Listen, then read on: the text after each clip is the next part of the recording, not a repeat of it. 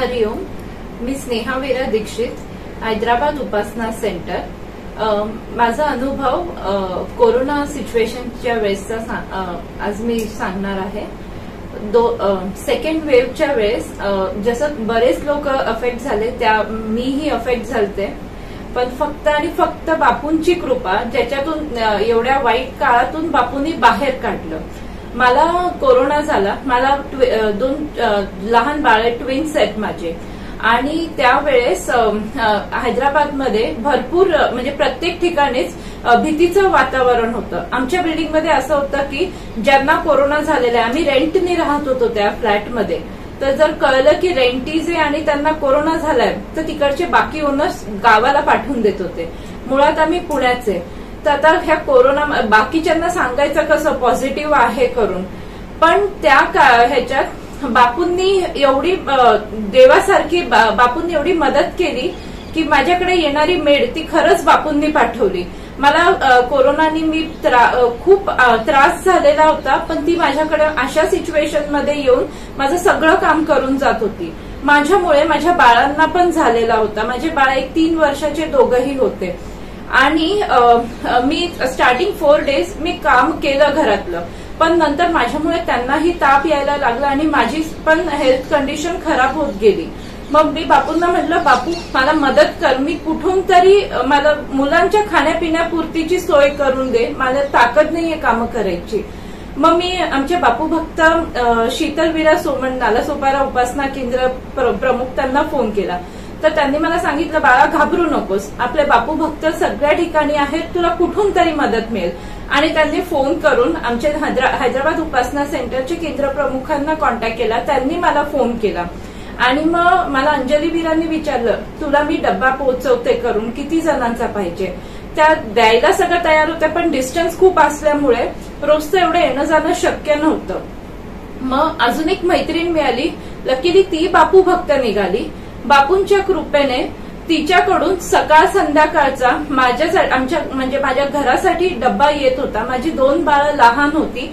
त्यांचं सुद्धा जेवण ती मला करून देत होती. आणि एक दिवस असा आला की मी पडेलकर मॅडमला फोन केला की माझी तब्येत खूप खराब होतीये. मला औषधांचा इफेक्ट होत नाहीये. तर त्यांनी सांगितलं की दत्त तारक याग करायचा.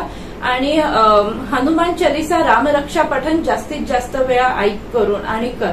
रामरक्षे रामनवमीच त्या दिवशी होती. आणि त्या दिवशी पहाटे मला अजित सिंहांचा मेसेज आला की आज तुमच्या नावाचं दत्तकारक आराधना करण्यात येईल. पहाटे उठले मी आणि बघते तर माझ्या दोन्ही मुलांना खूप ताप होता. एकशे दोन एकशे तीन. मी खूप घाबरले. म्हणलं बापू मला एवढा कोरोना म्हणजे ताप आहे सर्दी खोकलाय. मी घेऊन कसं जाऊ त्यांना हॉस्पिटलला?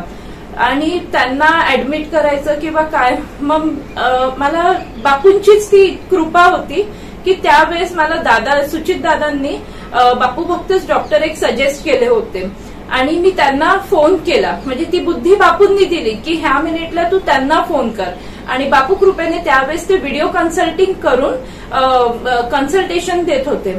मी त्यांना फोन केला. म्हटलं हरिओम माझे बाळ दोघंही खूप तापलेले आहेत आणि मी त्यांना कुठे घेऊन जाऊ? काय करू? मला काहीच कळत नाही. कोरोना असल्यामुळे मला त्यांच्या जवळही जाता येत नाही. माझे मिस्टर एकटेच होते करणारे.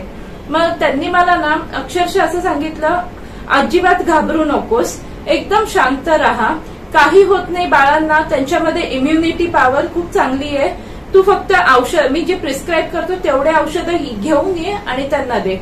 मी बापूंना प्रे केलं बापू म्हणलं बापू प्लीज त्यांना बरं वाटू दे करून. माझं काही होते पण माझ्या बाळांची तब्येत बरी वाटू होऊ दे लवकरात लवकर.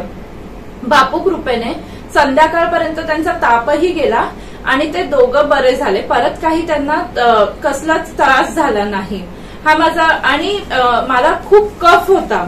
डॉक्टरांनी सांगितलेलं आता जर तुझा औषधांनी कफ कमी होत नाहीये तर तुला पुढचं हे करावं लागेल हॉस्पिटलाइज करावं लागेल. मी बापूंना म्हटलं बापू मला म्हणजे माझ्या बाळांना कोण बघत जर मी हॉस्पिटलमध्ये ऍडमिट झाले तर? म्हटलं ह्या मला बाहेर काढ म्हटलं बापू ह्या ह्याच्या ह्याच्यात सिच्युएशन मधून. बापू कृपेने ज्या दिवशी आणि नेमकं रामनवमीच्या दिवशी यागही झालं दुसऱ्या दिवशीपासून आपोआप माझा कफ कमी होऊ लागला. आणि माझी तब्येतही बरी झाली. सो सद्गुरूच्या कृपेने माझ्या अनिरुद्ध बापूंच्या कृपेने ह्या सिच्युएशन मधून आम्ही बाहेर निघालो आणि हे फक्त आणि फक्त बापूंमुळे बापूंमुळे झालं. अंबज्ञ